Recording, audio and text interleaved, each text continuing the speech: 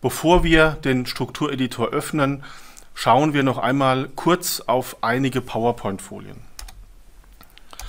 Und zwar dieses neue Produkt, wir hören häufig die Frage, was ist das Besondere daran, was ist der Vorteil? Und der Vorteil ist natürlich, oder ein wichtiges Merkmal ist hier die einheitliche geometrische Grundlage.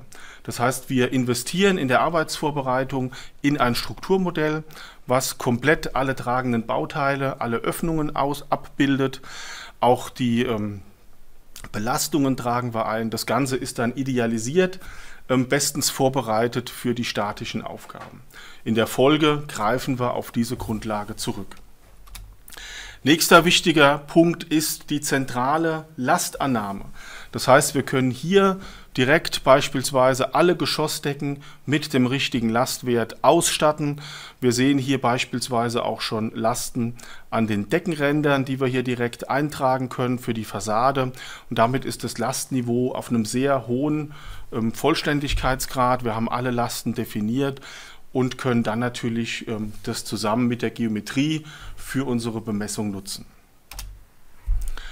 Weiteres wichtiges Merkmal, der Struktureditor ist in der Lage, Lasten auf die einzelnen Bauteile zu verteilen. Das ist zum einen möglich für vertikale Lasten, die sich auf der Decke befinden. Hierzu wird im Hintergrund eine FE-Berechnung durchgeführt. Und wir werden auch horizontale Lasten verteilt bekommen und ermittelt bekommen im Struktureditor.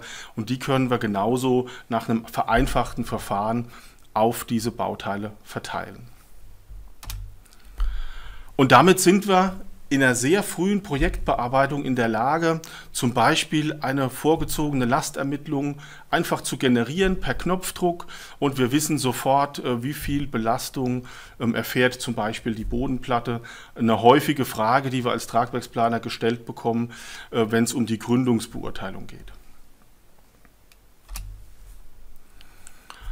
Ja, und dann werden wir im Struktureditor natürlich Bauteilbemessungen vorbereiten. Das wird in Form von Berechnungsmodellen passieren. Und da kennen wir jetzt ja schon die Geometrie, wir kennen auch die Lasten und dann können wir diese Informationen zusammenführen und haben damit mit wenig weiteren ähm, Arbeitsaufwand die Bauteile bemessen. Und durch die Geometrie, die wir hier vorfinden, haben wir die Möglichkeit, die Bemessung von der Lastverteilung zu entkoppeln. Es ist kein Aufwand mehr für uns, mehrere Berechnungsmodelle zu erzeugen, einmal für die Bemessung, einmal für die Lastverteilung. Und dann sind wir nicht immer ähm, dazu aufgefordert, das Lastniveau in jeder Geschossdecke durchzuführen. Vielleicht wollen wir auch mal das Lastniveau einfach weglassen. Wir brauchen hier nur die Deckenbemessung und trotzdem kennt die Bodenplatte die komplette Last, auch wenn wir bei der Decke im zweiten Obergeschoss hier eine andere Entscheidung treffen. Und dann ist natürlich ein wichtiges Merkmal die Auswertung. Wir können hier im Struktureditor Listensichten erzeugen, können Lastsummen bilden pro Geschoss, pro Bauteilgruppen und wissen damit auch sehr genau, wie sieht das Lastniveau in unserem Tragwerk aus. Diese Auswertungen können Sie natürlich auch in das Excel beispielsweise, ins Excel-Format übertragen. Damit haben Sie alle Freiheiten, was Auswertungen dieser Werte ähm, entsprechend betrifft. Und wir brauchen natürlich die Möglichkeit der Dokumentation. Hier bietet die Baustatik ein neues Modul S008.de. Damit können wir Strukturmodelle im Statikdokument dokumentieren. Alle Arbeitsschritte tauchen hier auf, damit das Ganze nachvollziehbar und natürlich auch rechtssicher wird, was wir hier in der MB Worksuite bearbeiten. Und natürlich nicht zuletzt das Stichwort äh, BIM-Planung ein Thema, was immer stärker an uns herangetragen wird. Die Fragen, die, die kommen, wie arbeiten wir mit der MB Worksuite, wenn diese Forderung an den Tragwerksplaner ähm, gestellt wird. Der Struktureditor und die Datenhaltung in der MB Worksuite ähm, erfolgt bauteilorientiert.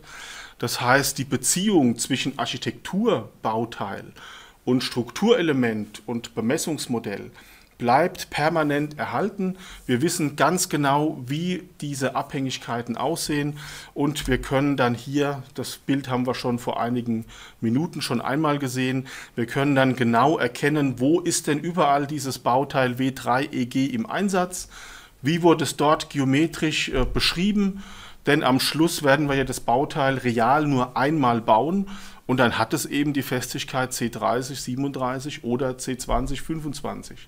Beides ist natürlich kaum möglich. Deswegen hier die Unterstützung, dass wir sofort überall erkennen, passt das Ganze überhaupt zusammen. Und jetzt würde ich vorschlagen, wir steigen in unser Beispiel ein. Wir nutzen jetzt zum ersten Mal den Struktureditor und ähm, damit wir für diesen ersten Überblick uns jetzt fokussieren können auf, den, auf das Strukturmodell, steigen wir in diesen Bearbeitungsstand hier ein. Also das Architekturmodell in Vicado, das ist bereits vorhanden. Wir haben das Strukturmodell in Vicado erzeugt und wir öffnen jetzt direkt das Strukturmodell im Struktureditor. Wie wir an diesen Punkt kommen, das sehen wir heute Nachmittag. Da gibt es eben mehrere Wege. Drei davon werden wir Ihnen live zeigen.